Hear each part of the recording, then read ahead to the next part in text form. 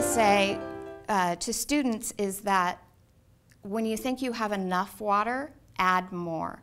In watercolors, the purpose is to see that white show through and to create transparency. And you'll notice I work with the colors that are already on my palette. I'm just adding some water to a color that I like. This will be the glass. So I'm going to add just a light wash. Notice that I'm using the side of my brush, constantly keeping water loaded in my brush.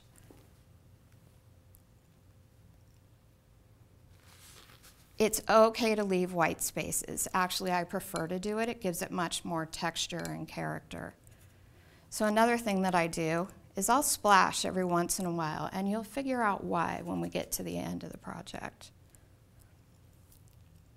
You also don't have to paint the colors that are in your actual still life. You know, this is where your imagination can take over. Again, I'm just working with the colors that I kind of already have on my palette.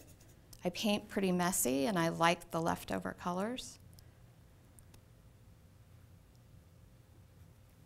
Always more water, always a little bit more paint.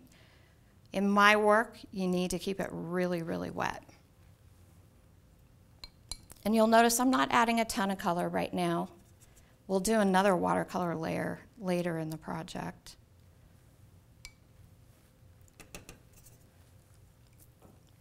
Again, lots of water, just a little bit of color. You can always add color. You can't subtract color very easily in watercolors. So I'm just going to drop a little bit of this in. I'm going to add this here. Just light, easy washes.